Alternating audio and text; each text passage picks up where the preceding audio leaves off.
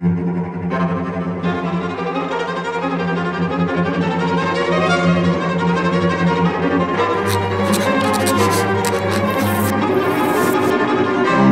you know that it was our great great great grandfather? And she said, No, I never heard about the history.